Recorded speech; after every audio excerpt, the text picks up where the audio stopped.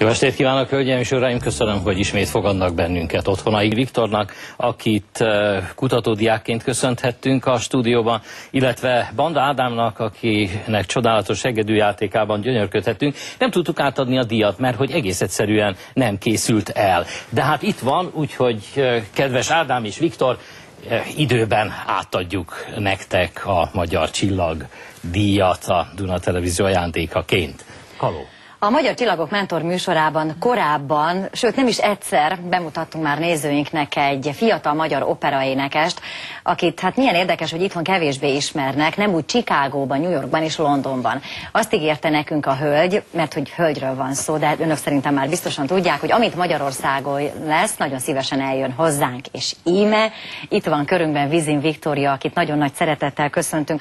Viktória, mi elmondtuk a nézőknek, hogy októbertől te Londonban énekel énekeled Mercedes szerepét, sőt azt is elmondtuk a nézőknek, hogy az új évet egy rendkívüli beugrással kezdted, remélem talán még a nézők emlékeznek erre.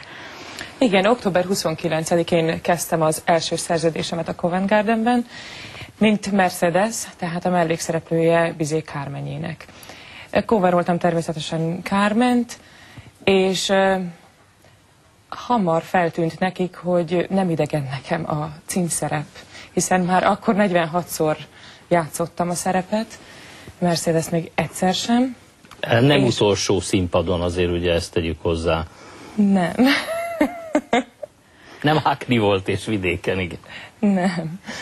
És miután kiderült körülbelül november közepén, hogy a második szereposztásnak a világhírű medzója, egy fiatal, tehetséges mező Marina Domasenko sajnos nagyon megbetegedett, és valószínűleg le fogja mondani a, a januári összes előadását, de legalább egyet vagy kettőt.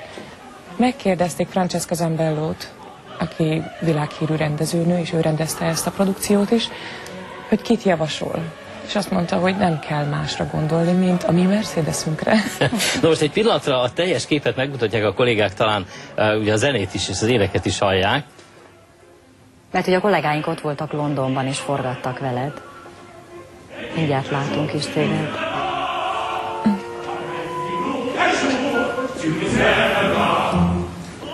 Viki, én azt mondtam rólad itt a bevezetőben, hogy a tökéletes és örök Kármen, és te említetted, hogy 46-szor, vagy 46-szor énekelted már. Létezik olyan, hogy az örök Kármen? Létezik szerintem.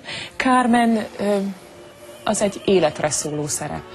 Tehát másképp énekeltem a 20-as években, 20-as éveimben, hogy így mondjam, másképp énekelem most, a 30-asokban, és másképp fogom énekelni 10-15 év múlva, és a többi. Tehát ez, ez egy életre szóló szerep. Viktória, az hogy lehet megélni, hogy valaki egy mellékszerepet csinál, a Covent Gardenbe, ahova nézőként még csak beteti az ember a lábát, uh-huh. és nem nézik meg, hogy jól énekel, vagy gyengén. Uh-huh de hát a színpadra bárkit nem engednek föl. És ott egyszer csak az ember még ráadásul kap egy kellemes torokgyulladást, majd két hét múlva viszont a címszerepben találja magát. Ezt, ezt hogy, hogy lehet megélni? Mert erre mondják itt magyarul, hogy az nem semmi. Igen, tehát én nem bíztam ebben az egészben, ez nem egy egyszerű torokgyulladás volt, sajnos a, a hölgynek kivették a pajzsmirigyét, és már San Franciscóban is lemondta az összes előadását novemberben, és én úgy gondoltam, hogy tudom, hogy egy pazsmirigy műtét hosszadalmas gyógyulással jár, de nagyon szeretett volna a hölgy visszajönni, meg is értem. Nem bíztam benne. És tulajdonképpen egy kései karácsonyi ajándékként kaptam ezt meg december 29-én. Ugye erre mondják, hogy jókor jó helyen, nem? Igen. Viki, nem titok, hogy mi ugye korábban már találkoztunk, és akkor említetted azt, hogy neked minden vágyod, vagy vágyaid között szerepel az, hogy Magyarországon énekelhess. Ez néhány nap múlva megtörténik, mert hogy? Mert végre Magyarországon, magyar színpadon, az Erkel Színházban három alkalommal Kárment fogom énekelni. Mikor? Február 25-én, március 1-én és 4-én.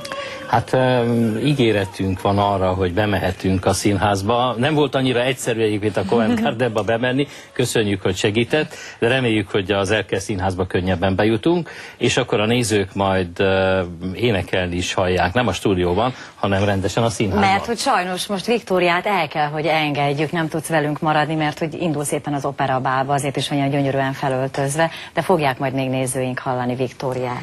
Hát én minden esetre a tévénézők nevében is gratulálok a, a gyors sikerhez, és szorítok azért, hogy ez Magyarországon is megtörténjen. A Duna Televízió a Magyar Csillagok díjat azoknak a fiataloknak adja, akikben bízunk benne, hogy nem csalatkozunk, már a nézők természetesen, és további sok sikert kívánunk önnek is a pályán. Köszönöm szépen. Én meg csak reménykedem abban, hogy Köszönöm szépen. jól érezted magad közöttünk, életed első televíziós riportjában. Igen, Mert nagyon hogy az volt, magam. ugye? Igen. Szerintem még fogunk sokszor találkozni ugyanitt. Remélem. Köszönjük, hogy eljöttél, és jó szórakozást estére. Köszönöm. Hát eh, miután én is köszönöm, akkor nem marad más hátra, mint hogy én akkor játszom egyet. A